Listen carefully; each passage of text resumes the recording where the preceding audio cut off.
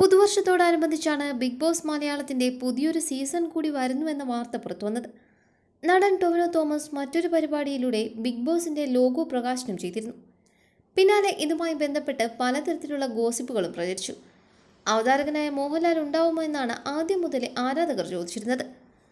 ഒടുവിൽ ബിഗ് ബോസിനെ കുറിച്ച് തുറന്ന് സംസാരിച്ച് മോഹൻലാലും എത്തിയിരിക്കുകയാണ്. ഏഷ്യാനെറ്റ് പുറത്തുവിട്ട ഏറ്റവും പുതിയ വീഡിയോയിലാണ് ബിഗ് ബോസിനെ കുറിച്ചുള്ള ആകാംക്ഷകൾക്ക് വിരാമമായെന്ന് മോഹൻലാൽ പറയുന്നത്.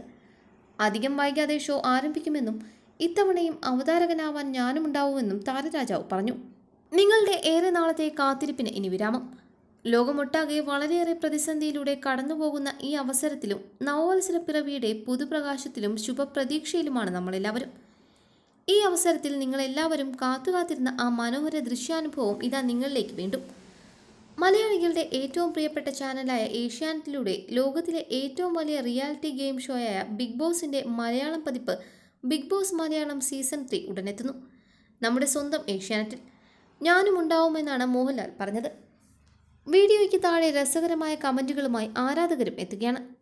ബിഗ് ബോസ് ടു വിചാരിച്ചതുപോലെ ക്ലിക്കായില്ല. ഒന്നാമത്തെ സീസൺ അടിപൊളിയായിരുന്നു.